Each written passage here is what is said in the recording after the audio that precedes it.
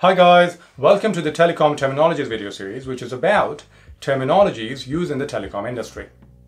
The aim of these videos is to help you become familiar with the most commonly used telecom terms so that you can talk about them when you encounter them in a business meeting or a job interview. So let's dive right in and today's topic is this one.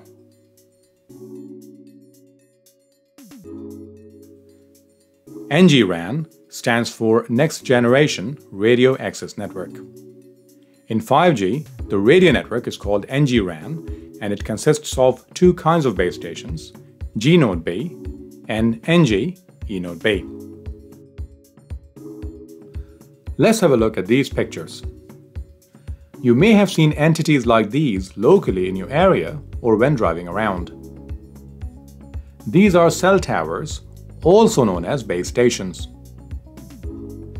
In these pictures, we have a small base station on the left, whereas the other ones are pretty big. If you look at these pictures closely, you may see these vertical rectangular things that are the radio network antennas of the base station. These antennas connect your phone to the mobile network. So if you're not getting a good mobile signal, it means you may be far away from these radio network antennas. Let's now have a look at what a radio access network is. A radio access network, RAN, connects all cellular devices including mobile phones, mobile broadband routers, and other SIM-enabled devices including tablets, smartwatches, and IoT devices to the mobile network. The radio access technology used by 5G NR is OFDMA, Orthogonal Frequency Division Multiple Access.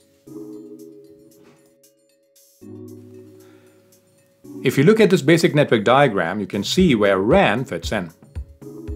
RAN is an essential part of the mobile network, which uses radio or RF waves to wirelessly connect mobile devices to cell towers. The cell towers are linked to the mobile core network that connects them to outside networks like PSTN, ISDN, and the Internet. If you look at this diagram on the screen, it may look a little busy. But just focus on this red rectangle. This is the NG-RAN in the overall mobile network architecture. The green boxes and the icons are the core network, and everything inside this rectangle is a radio network. The radio network in 5G consists of the base station called the GNB. GNB or G node B is the next generation node B. A GNB may be split into two entities, GNB Central Unit CU and GNB Distribution Unit DU. Both the central and distribution units can be implemented in the same GNB location, but it is possible to have the distribution unit DU closer to the end user.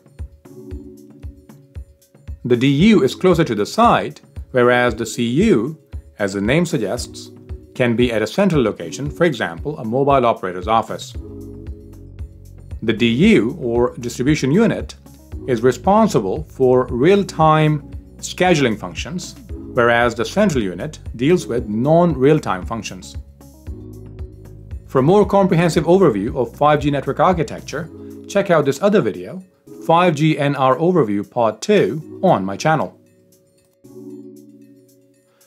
Thanks for watching the video guys. If you found this video helpful, please hit the like button and make sure to subscribe to the channel because I'm posting new videos all the time.